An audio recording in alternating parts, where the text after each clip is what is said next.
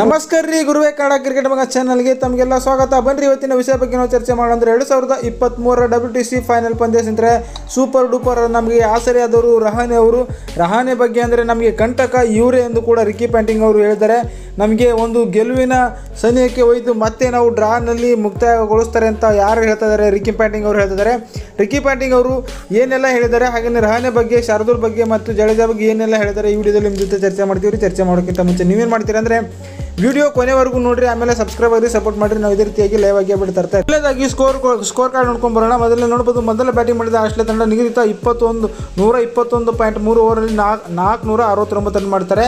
ಇದರಲ್ಲಿ ವಾರ್ನರ್ ನಲವತ್ತ್ಮೂರು ಹಾಗೆ ಲಾಮ್ಸನ್ ಇಪ್ಪತ್ತಾರು ಖ್ವಾಜಾ ಜೀರೋ, ಸ್ಮಿತ್ ನೂರ ಇಪ್ಪತ್ತೊಂದು ಮಾಡ್ತಾರೆ. ಟ್ರಾವಿಸ್ ಹೆಡ್ ಕೂಡ ನೂರ ಅರವತ್ತ್ಮೂರು ಮಾಡ್ತಾರೆ. ಹಾಗೆಯೇ ಅಲೆಕ್ಸ್ ಕ್ಯಾರಿ ನಲವತ್ತೆಂಟು ರನ್ ಮಾಡ್ತಾರೆ. ಸ್ಟ್ರೇ, ಸ್ಟ್ರಿಕ್ ಅವರು ಕೂಡ ಐದು ರನ್ ಮಾಡ್ತಾರೆ. ಹಾಗೆಯೇ ಕಮಿನ್ಸ್ ಒಂಬತ್ತು ರನ್ ಮಾಡ್ತಾರೆ. ಲಯನ್ಸ್ ಅವರು ಒಂಬತ್ತು ರನ್ ಈ ರೀತಿಯಾಗಿ ನೂರ ಅರವತ್ತೊಂಬತ್ತಿಗೆ ಇವರೆಲ್ಲ ಆಗ್ತಾರೆ ಬಾಲಿಂಗ್ ವಿಭಾಗದಲ್ಲಿ ನೋಡಬೇಕಾದ್ರೆ ಭಾರತ ಕಡೆಯಿಂದ ಸಮಿ ಎರಡು ವಿಕೆಟು, ಸಿರಾಜ್ ನಾಲ್ಕು ವಿಕೆಟು, ಮೊದಲ ಇನ್ನಿಂಗ್ಸ್ನಲ್ಲಿ. ಹಾಗೆಯೇ ಠಾಕೂರ್ ಅವರು ಎರಡು ವಿಕೆಟು, ರವೀಂದ್ರ ಜಡೇಜಾ ಒಂದು ವಿಕೆಟ್ ಈ ರೀತಿಯಾಗಿ ಪಡ್ಕೋತಾರೆ ಇದನ್ನು ಗುರಿ ಬೆಳೆಯುತ್ತೆ ನಮ್ಮ ಭಾರತ ತಂಡ ನಿಗದಿತ ಎಷ್ಟು ಓವರ್ನಲ್ಲಿ ಅಂದರೆ ಅದ್ಭುತವಾದಂಥ ಬ್ಯಾಟಿಂಗ್. ಅರವತ್ತೊಂಬತ್ತು ಪಾಯಿಂಟ್ ನಾಲ್ಕು ಓವರ್ನಲ್ಲಿ ಎರಡು ನೂರ ತೊಂಬತ್ತಾರು ರನ್ಗೆ ಆಲ್ಔಟ್ ಆಗ್ತಾರೆ.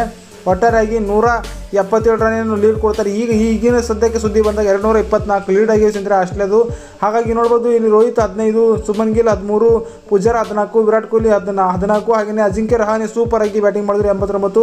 ರವೀಂದ್ರ ಜಡೇಜಾ ನಲವತ್ತೆಂಟು ಹಾಗೆ ಠಾಕೂರ್ ಐವತ್ತೊಂದು ರನ್ ಮಾಡ್ತಾರೆ. ಈ ರೀತಿಯಾಗಿ ಬ್ಯಾಟಿಂಗ್ ಭಾರಿ ನಮ್ಮ ಭಾರತ ತಂಡಕ್ಕೆ ಆಸರೆ ಆಗ್ತಾರೆ ಇಲ್ಲಿ ರಹಾನೆ, ಜಡೇಜಾ ಮತ್ತು ಶಾರ್ದುಲ್ ಠಾಕೂರ್ ಸೂಪರ್ ಅಂತ ಬ್ಯಾಟಿಂಗ್ ಕೂಡ ಮಾಡ್ತಾರೆ. ನೋಡ್ಬೋದು Rahane well will be great ಅಂತ ಒಂದು ಪೋಸ್ಟನ್ನು ಅಭಿಮಾನಿಗಳು ಹೇಳ್ತಾ ಇದ್ದಾರೆ ಹಾಗೇನೆ ಇಲ್ಲಿ ರಿಕ್ಕಿ ಪ್ಯಾಂಟಿಂಗ್ ಅವರು ಇಲ್ಲಿ ನೋಡ್ಬೋದು ಇವಾಗ ಆಸ್ಟ್ರೇಲಿಯಾ ತಂಡ ಮತ್ತೆ ಬ್ಯಾಟಿಂಗ್ ಶುರು ಮಾಡ್ಕೊಂಡಿದ್ದಾರೆ ಎರಡನೇ ಇನ್ನಿಂಗ್ಸು ಐವತ್ತೊಂದು ರನ್ಗೆ ಎರಡು ವಿಕೆಟ್ ಕಳೆದುಕೊಂಡಿದ್ದಾರೆ. ಇಲ್ಲಿ ಸ್ಮಿತ್ ಹತ್ತು ಹದ್- ಹದಿನೈದು ರನ್ ಮಾಡಿದ್ದಾರೆ. ಹಾಗೆ ಇಲ್ಲಿ ಲಂಸನ್ ಅವರು ಹತ್ತೊಂಬತ್ತು ಮಾಡಿ ಆಡ್ತಾ ಇದ್ದಾರೆ. ಹಾಗೇನೆ ಸಿಂದ್ರೆ ಇವಾಗ ರಿಕ್ಕಿ ಪ್ಯಾಂಟಿಂಗ್ ಅವರು ರಹಾನೆ ಬಗ್ಗೆ ಏನು ಹೇಳ್ತಾರೆ ಅಂದರೆ ಮೊದಲನೇದಾಗಿ, ರಹಾನೆ ಅವರು ನಮ್ಮ ಗೆಲುವಿಗೆ, ಗೆಲುವಿನ ರೂವಾರಿ ಅಂದರೆ ನಾವು ಗೆಲ್ಲಬೇಕಾಗಿತ್ತು ಅವರು ಇವಾಗ ಮತ್ತೆ ಅವ್ರ ಕಡೆಯಿಂದ ಕರ್ಕೊಂಡು ಒಯ್ದಿದ್ದಾರೆ ಡ್ರಾ ಹಂತಕ್ಕೆ ಒಯ್ದಿದ್ದಾರೆ ಅಂತ ಕೂಡ ಹೇಳ್ತಾ ಹೇಳಿದ್ದಾರೆ.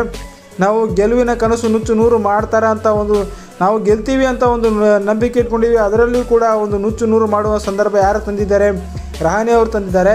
ಇವರು ಫಾಲೋವನ್ನು ಕೂಡ ತಪ್ಪಿಸಿದ್ರು. ಭಾರತ ಫಾಲೋವನ್ನು ಆಡಿದ್ರೆ ನಾವು ಒಳ್ಳೆ ರೀತಿ ಗೆಲ್ಲಬೇಕಾಗಿತ್ತು ಹಾಗೆ ಇವರು ಫಾಲೋವನ್ನು ತಪ್ಪಿಸಿ ಭಾರತ ತಂಡಕ್ಕೆ ಆಸರೆ ಕೂಡ ಆದರು.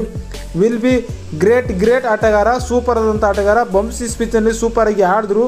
ಅವರು ಕೂಡ ಈ ರೀತಿಯಾಗಿ ಆಡಲಾಗಿದೆ ಇದೇ ರೀತಿಯಾಗಿ ಮುಂದುವರಿಯಲಿ ಅಂತ ಕೂಡ ಹಾರೈಸ್ತಾ ಇದ್ದಾರೆ. ಹಾಗೆಯೇ ರಹಾನೆ ಕೂಡ ಒಂದು ದಾಖಲೆ ಬರೀತಾರೆ, ಐದು ಸಾವಿರ ರನ್ಗಳ ಪೂರೈಸ್ತಾರೆ, ಅದೊಂದು ದೊಡ್ಡ ದಾಖಲೆ ಆಗ್ತಾ ಇದೆ. ಇವ್ರ ಜೊತೆ ಜಡೇಜಾ ಮತ್ತು ಶಾರ್ದುಲ್ ಅವರು ಸಪೋರ್ಟ್ ನೀಡಿದ್ರು, ಇವರು ಕೂಡ ಸಪೋರ್ಟ್ ಆಗಿ ಒಂದು ಅದ್ಭುತವಾದಂಥ ಬ್ಯಾಟಿಂಗ್ ಕೂಡ ಮಾಡಿದ್ರು. ಇವ್ರು ಮೂರು ಆಟಗಾರರು ನಮ್ಮ ಆಸ್ಟ್ರೇಲಿಯಾ ತಂಡಕ್ಕೆ ಕಾಡಿದ್ರು ಅಂತ ಯಾರು ಹೇಳ್ತಾ ಇದ್ದಾರೆ ಇದು ರಿಕ್ಕಿ ಪ್ಯಾಂಟಿಂಗ್ ಅವರು ಈ ರೀತಿಯಾಗಿ ಹೇಳ್ತಾ ಇದ್ದಾರೆ ಅಂತಿರೀಸ್ ಅಂದರೆ ಶಾರ್ದುಲ್ ಠಾಕೂರ್, ರಹಾನೆ ಮತ್ತು ಜಡೇಜಾ ಇವ್ರು ಮೂರಲ್ಲಿ ಯಾರು ಬೆಸ್ಟ್ ಎಂಬುದು ಕೂಡ ನೀವು ಕಮೆಂಟ್ ಮಾಡಿರಿ. ಸಾಧ್ಯವಾದರೆ ಈ ಚಾನಲ್ ತಮಗೆ ಇಷ್ಟವಾದಲ್ಲಿ ಈ ಚಾನಲ್ ಕೂಡ ಸಬ್ಸ್ಕ್ರೈಬ್ ಆಗಿರಿ ಸಪೋರ್ಟ್ ಮಾಡಿರಿ. ಧನ್ಯವಾದ ಕೊಡ್ರಿ ಸಿಗೋಣ್ರಿ ಮುಂದಿನ ವಿಡಿಯೋದಲ್ಲಿ. ಬಾಯ್ ಬಾಯ್ ಟೇಕ್ ಕೇರ್ ಎಲ್ಲರಿಗೂ ಆರಾಮಾಗಿರ್ರಿ.